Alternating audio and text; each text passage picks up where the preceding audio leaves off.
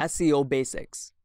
Once again, SEO is a series of steps or process to help improve a website's search engine ranking within a search engine.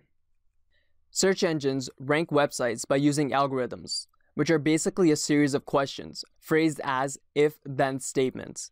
For example, a very simple algorithm could be if my dog does a trick correctly, then I should give it a treat.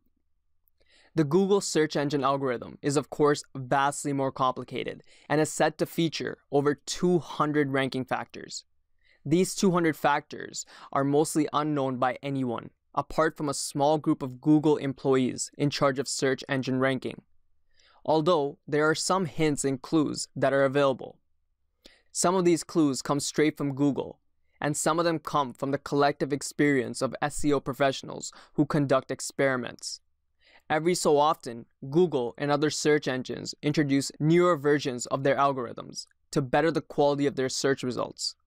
If you are familiar with SEO, you probably have heard the words Backrub, Panda, and Penguin. These are all versions of the Google search algorithm, with the latest introduction being Hummingbird. What Google tries to achieve from these newer versions is to deter web spammers by cracking down on unfavorable tactics by adding intelligence so that their web crawlers can derive meaning from the content.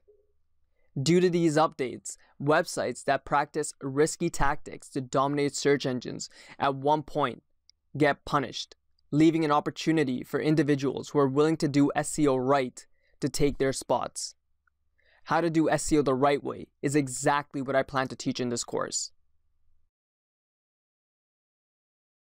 Paid versus organic.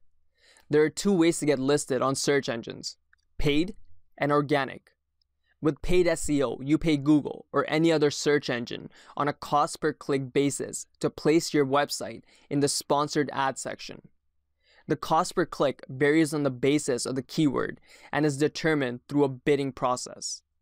The bids for a keyword can range anywhere from 1 cent upwards to more than $100 the person placing the bid is only charged when someone clicks on their ad. All search engines allow for this feature because it makes them money.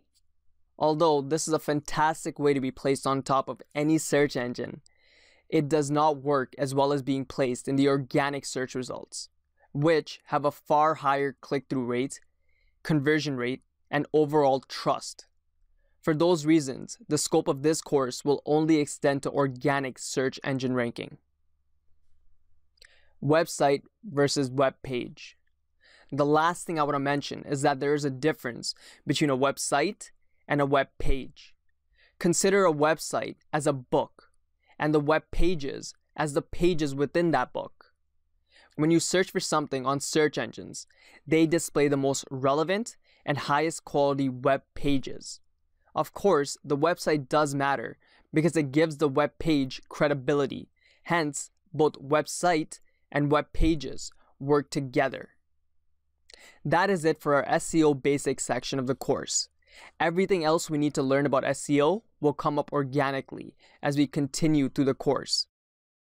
In our next lecture, we'll be talking about how to optimize your website so it's backed up, updated, and screaming fast. Let's go.